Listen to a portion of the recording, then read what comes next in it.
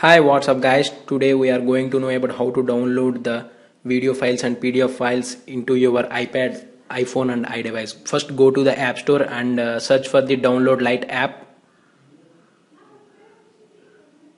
And you can see on the screen download lite for iPad. It's a download manager. It looks like an uh, web browser I had already downloaded this app. So I can open it directly. So it's look like an uh, Safari but Safari wouldn't allow you to download the PDF files or video files but it it will be allowed to download the files because it was the download manager. Search for the PDF file and uh, open in the new tab. And you can see here pop up that uh, download and uh, click on the download and just save. And you can uh, this file can be saved on this download tray. And you can see it on this show in the download manager. And this is the file we had downloaded a second before. And now we again go to the browser and now YouTube.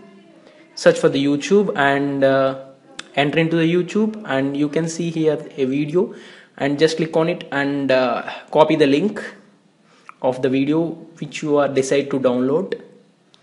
And then again go to the Google search and search for the file to hd.com file to hd.com and uh, click on the file to hd.com and uh, paste the URL of the YouTube video and uh, tick for the I have read and agree the of the terms and conditions and uh, tick in the movies.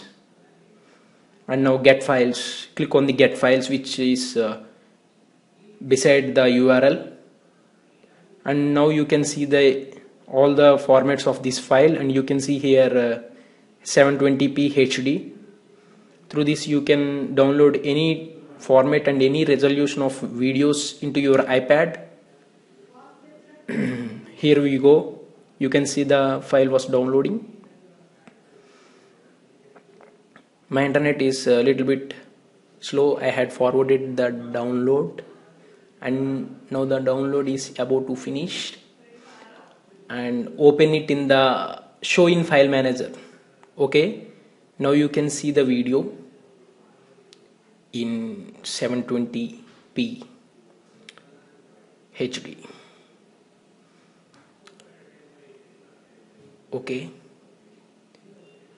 You can also download any types of files. And thank you guys for watching my video. For more tutorials subscribe to my technoteacher.com